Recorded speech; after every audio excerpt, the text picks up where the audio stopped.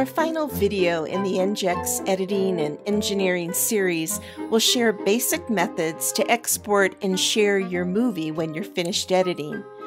To do so, select your project in the library, whatever you called your movie, and for many of us, we called it EngEx drone or drones, so highlight that. Now, I have two methods that I can use to export my video.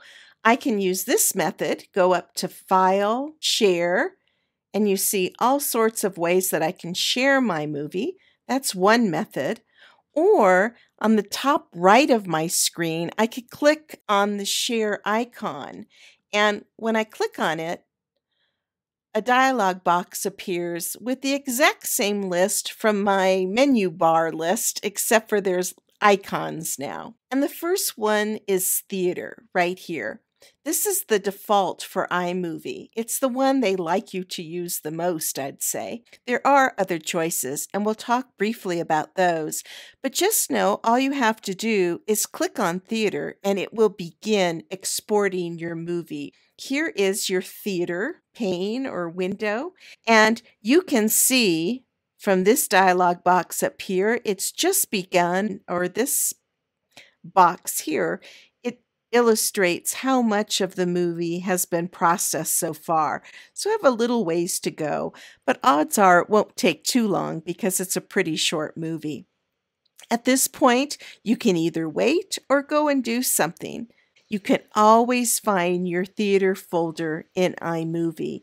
To find it, what you do is you click on Projects, and at the very top of the window, there's three choices Media, projects, or theater. And theater lists your movies. Let's try the other method to export a video. If I go up to File, Share, there's our theater once again, but I can also export to email, iTunes, YouTube, Facebook, Vimeo. I can export images or an image or file. And I want you to know that. Now, to export to iTunes or Facebook or YouTube or even Vimeo, you obviously have to have an account. And these are websites on the internet. You can also export to file. And this is if you don't necessarily want it or you want it in an additional location than your theater folder.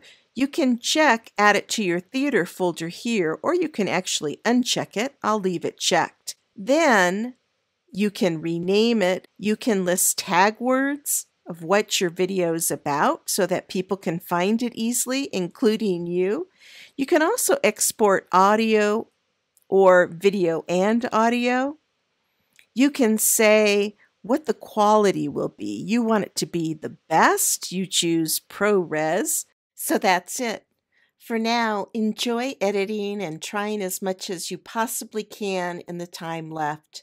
Don't worry on making a video that is a grabber right now. Instead, make a video that showcases all the editing tips and tricks you've learned, even if it's a bit cheesy. We'll export it to theater when and if you're ready. Congratulations are in order for many of you making your very first iMovie video. For those of you who are more experienced, congratulations on practicing and expanding your editing skills. We hope you'll join us in our second three week session on video production and interviewing professional engineers, or our final six week session where you'll create and tell your own story about engineers, engineering, and engineering careers with all the support you need along the way.